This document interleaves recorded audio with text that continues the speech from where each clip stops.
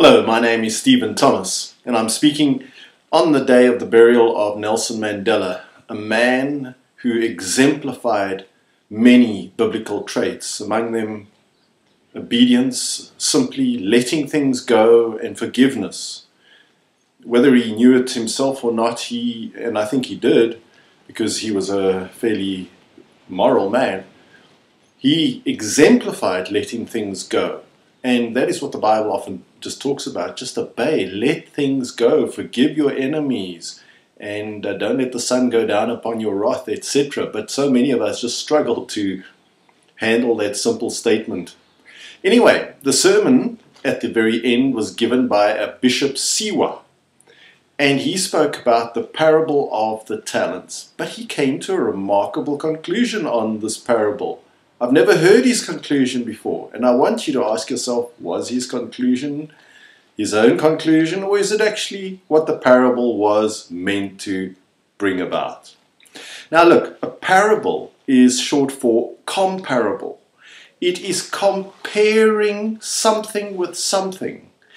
And it is always a little short story meant to make one point and one point generally only. And if you start getting multiple points out of this or turning it into a, uh, political um, ideology, then I'm afraid you're going to be completely mistaken. But anyway, let's just see uh, this parable. Now, also, the parables generally interpret themselves. They don't need you to put your own spin on it because they the, the, the parable is normally explained in the context. Anyway, what makes it quite interesting is he chose from Matthew to read this parable of the talents from Matthew 25, verse 13. And I'm going to just read it uh, rather quickly. It's a story about a man who travels into a far country, he calls his servants, and he gives them his goods, and he gives to the first one five talents, and to the other two, and to another servant he gives them one according to their various abilities. So he, and then he says, Occupy till I come, and he takes on his journey.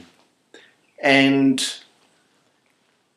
then the man who received the five and the two talents, they trade with it and they make double their money for, uh, for their master. And when he returns, they give it, the money over to him. But the one who receives one talent, and apparently in this uh, Matthew 25, he was the man with least ability. He went and hid his talent in the ground, and when his master returned, he dug it back up and he said, Here is your one talent that you gave to me. Now, very interestingly, the same story, parable, is told in Luke 19, verse 12, but there are a few slight differences when Luke tells it. In Matthew, it's just a man. In Luke, it's a nobleman. But obviously, in Matthew, this is a man of influence because he's got a talents, which is not our singing or dancing ability. It is a amount of money. In both of them, it is an amount of money which is given. In this case, it's a nobleman. He go, both go into a far country. In Luke, the parable is the nobleman's going to receive a, a kingdom it doesn't explain the reason why he goes into a far country in uh, Matthew. And he calls his ten servants in the case of Luke, whereas it doesn't specify in, in Matthew how many servants there were. But in both of the parables, in both of the explanations, three cases are mentioned. There's the great, the average, and then there's, let's say, the useless servant. So there are still three categories of people, but in Matthew, he gives five talents to the one. Let me sit here. He gives five talents to the one, two to the other, and one to the least talented person. And in Luke's uh, telling of this parable, one pound is given to each of the servants. Then, um, in Matthew, the servants, the two servants, double theirs. So the one that had five makes an extra five. The one that, that has two makes an extra two. In this case, when he returns, the one who each received one pound, but the one gets ten pounds back. So he's got a tenfold profit, whereas that only double is there. And then the other guy made a fivefold profit, so he returns five pounds. But now we come to what is called the um, sort of the idle servant in both parables is the person who goes and buries his. Now in in Matthew 25 he buries his in the ground, whereas in Luke 19 the guy wraps it in a napkin. Well maybe he wrapped it in a napkin before he buried it into the ground. But in both cases, this man reasons that his master is a hard man. In Luke, he calls him an austere man. Both mean very similar things. That this is a master who is to be feared, and he's a master who's going to want his pound of flesh. That's the attitude that the servant has. And if he wants his pound of flesh, boy, I don't want to lose that pound, that talent, so I'm going to just go, bury it. When he comes back, I'll give him his pound, and that should make him happy but it doesn't make the master happy at all. First of all, the master is very unhappy with his attitude. So let's just read um, what happens when the man returns in both cases. So, in the first case, the Lord is praiseworthy of the servants who have doubled the amount here, and he, and, but he doesn't specify the reward. He just says to them, um, he says, I will make you ruler over many things. Enter into the joy of your Lord. So he doesn't specify what he's going to rule over, it just says, I'll make you Lord of many things. Whereas in Luke, he says that you've been faithful in a very little, have you authority over 10 cities. So the reward is stated as you will rule 10 cities because I'm the nobleman and I will give you 10 cities to rule. So you can see that clearly this is the same parable. But here is my point, as I said each parable has making, is making the same point. You might not recognize this at the moment, but both parables are making the same point, and it's only one point they really are making. Let's, let's carry on with this. So let's get to the wicked man. Now, this is what he, the wicked, this is what is said about the wicked. And, he, when, and when he which had received the one talent came and said, Lord, I knew that you are a hard man, reaping where you have not sown, and gathering where you have not stored. And I was afraid, and went and hid your talent in the earth. Lo, there you have that is yours. His Lord answered and said unto him, You wicked and slothful servant. So he calls this man a wicked and slothful servant. Now, Bishop Siwa said, I identify with this wicked and slothful servant he was fighting injustice. He was fighting the fact that um, the underprivileged, the person who has less ability, this talent is anyway going to be taken from him and given to the person with 10 talents. And here he's fighting an unjust cause against a master who's oppressive. And he gets punished, we shall see for his attitude. He's prepared to make sacrifices for the struggle like Nelson Mandela. I, I think Nelson Mandela would be turning if he heard this parable being interpreted this way. But let's read on. You ought therefore to have put my money to the exchanges, then at my coming I should have received my own with usury. So, so the master says, You should have given mine to the bank, and I would have at least got interest. But we're not supposed to take this parable as endorsing, let's get interest from the bank. That's not the point of the parable. If you get distracted by that, you're going to be mistaken.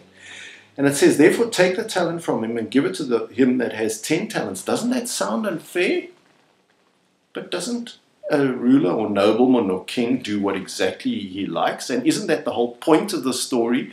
That Christ, the ruler of the universe, does exactly what he likes? And who are you to come with a bad attitude and say, my master, my ruler, how can you expect to get something for nothing from me? You expect me to work for you and with the sweat of my brow give you everything that I have worked for. And it's just so unfair. And it just seems that you are reaping where you have not sowed. I was the one who did the work.